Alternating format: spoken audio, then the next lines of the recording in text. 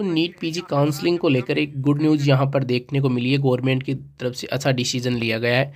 जैसा कि मैंने अपने वीडियो में, पिछले वीडियो में आवाज़ उठाई थी, जिन स्टूडेंट के पास ई डब्ल्यू एस सर्टिफिकेट है और वो स्टूडेंट करोड़ों की फ़ीस वाली सीट पर एडमिशन ले रहे हैं। इसी बीच यहाँ पर आप देख सकते हैं, काफ़ी बड़ा नोटिस यहाँ पर आया है। यहाँ पर आप देख सकते हैं, छत्तीसगढ़ गवर्नमेंट के द्वारा डिसीज़न लिया गया है। यहाँ पर आप देख सकते हैं प्रवेश वर्ष 2024 छत्तीसगढ़ राज्य के चिकित्सा स्नातकोत्तर एमडीएमएस पाठ्यक्रम की राज्य कोटे की सीटों में प्रवेश हेतु सम्मिलित होने वाले ईडब्ल्यूएस कोटे के अभ्यर्थियों की ईडब्ल्यूएस सर्टिफिकेट की जाँच हेतु। यानी कि यहाँ पर अगर कोई स्टूडेंट फर्जी आय आय प्रमाण पत्र बनाता है तो उसके निर्देश हेतु यहाँ पर ये नोटिस जारी किया गया यहाँ पर आप ऑफिशियल नोटिफिकेशन देख सकते हैं।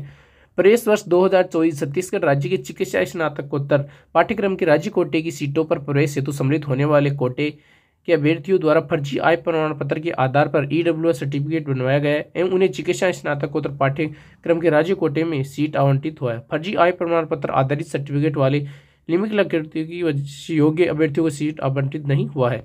तो यहाँ पर जिन स्टूडेंट को सीट आवंटित नहीं है, उनके खिलाफ यहाँ पर नोटिस जारी किया गया है।